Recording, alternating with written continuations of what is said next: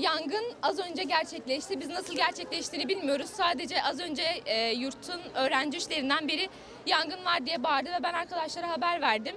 Şu an hepimiz ailemizden uzağız ve şu an ailelerimiz merak içinde. Belki sabaha doğru bu haberi görecekler ve Allah bilir kaç aile üzülecek. Hiçbir şekilde haberimiz olmadı. Sadece öğrenci işlerinden bir ses geldi ve yangın var denildi. Yangın alarmı çaldı ve biz aşağı indik. E, Bilmiyorum biz e, direkt bir kız şey yaptı kapıyı açtı yangın var diye nasıl kalktığımızı bilmiyoruz. Kapıya geldiğimizde zaten siz bizden önce duymuştunuz.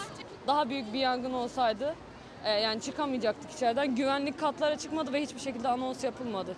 E, başka bir kız kapımızı açtı şey yaptı işte yangın olduğunu söyledi öyle çıktık. O sırada alarm çalıyor muydu? Hayır alarm duymadık. Güvenlik de katlara çıkmadı. Hiç normalde bizi geç kaldığımızda e, öğrenci işlerine çağırmak için defalarca anons yapıyorlar. Bir yangın oldu ne bir güvenlik gördük ne de bir anons yaptık.